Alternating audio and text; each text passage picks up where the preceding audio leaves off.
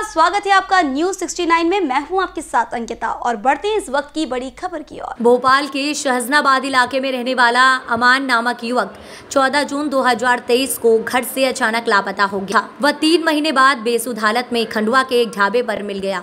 उसकी गुमशुदगी जीआरपी थाने में दर्ज थी।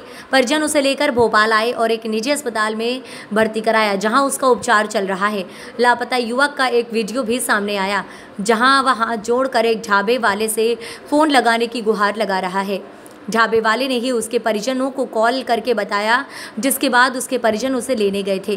पीड़ित ने पुलिस को अभी पूरी तरह कुछ नहीं बताया, बस इतना कहा कि भोपाल स्टेशन पर किसी ने उसकी आँखें बंद करके बेहोश कर दिया था। जब वह होश में आया तो एक रूम में था। उसे हरदा में किसी ने अगवा कर लिया गया था। इसलिए मुझे याद नहीं कि मुझे रखा कहाँ गया था।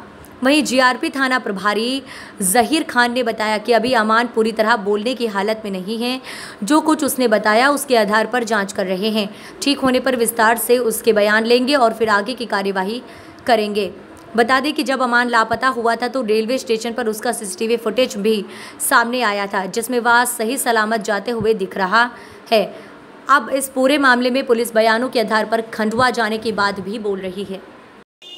अमान नाम का लड़का जो तीन महीने करीब से लापता हुआ था, वो मिल चुका है और अस्पताल में भर्ती है पूरा घटनाक्रम क्या है? किस तरह से ये गायब हुआ था? कहाँ किसको बंधक बना के रखा गया था? कहाँ पर? क्या अभी तक अमान फ़िलहाल जो है, उसके परिवार द्वारा ही लाया गया वहाँ से। खंडवा के पास किसी ढाबे से, ढाबे वाले ने सूचना दी थी कि अमान यहाँ पर है, उसने कॉल करवाया था।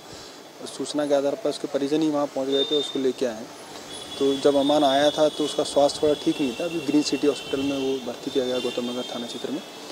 और अभी प्राइमरी रूप से जो उसने बताया वो यही बताया कि तीन महीने से मुझे कहीं रखा गया था। एग्जैक्टली अभी पूरी सिचुएशन क्लियर नहीं कर पा रहा है। डॉक्टर से हमारी बात हुई थी। अभी वो थोड़ा बयान देने की स्थिति में आएगा तो पूरा घटनाक्रम पता चलेगा कि तीन महीने से वो कहाँ था। तो क्या लग रहा पूरे अभी तक की जाँच आपको? क्या लग रहा बातचीत से कुछ जाँच पहले भी जीआरपी थाने में हुई है। इस संबंध में फुटेज भी प्राप्त किए गए हैं और कुछ टेक्निकल इनपुट भी है वहाँ पर। ये जो बताएगा, अभी जब बोलने की सिचुएशन में अभी छुट्टी करा रहे हैं, छुट्टी कराने के बाद घर पहुँचेगा, तब इसके विस्तृत बयान लेंगे। फिर जो हमारे पास इनपुट है और ये जो बयान लेते हैं, उसके आधार पर सत्यता प्रमाणित जो पाई जाएगी, वैसी कार्रवाई की जाएगी। पहले से ही इसमें एक गुम इंसान रजिस्टर्ड है। जैसे बयान आएँगे, उस हिसाब से वैधानिक कार्रवाई की जाएगी। इस खबर पर आपकी क्या राय हमें कमेंट सेक्शन में ज़रूर बताएँ। तब तक के लिए धन्यवाद।